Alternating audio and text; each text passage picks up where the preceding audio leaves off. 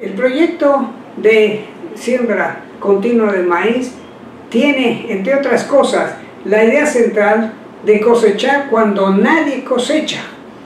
Y esto nos permitió que pudiésemos obtener en siembra directa de maíz hasta 10 toneladas por hectárea por año y cuando probamos el trasplante, una técnica para reducir la depredación que es una de las cosas más críticas que existen en las plantaciones de maíz, logramos obtener hasta 15 toneladas por hectárea por año.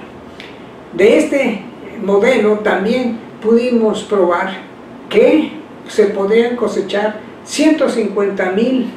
elotes y 80 toneladas de rastrojo. Esto fue ciertamente un logro gracias a que pudimos integrar los conocimientos que se han producido durante años de fertilidad, de control de plagas y también de haber probado variedades que han desarrollado los centros de investigación y también las variedades criollas. Creemos que definitivamente este, eh, esta innovación puede ser de gran importancia para toda la península, que de hecho muchos productores la están ocupando fundamentalmente para la producción de elote eh, y de rastrojo. De tal forma que este sistema de producción continua de maíz que eleva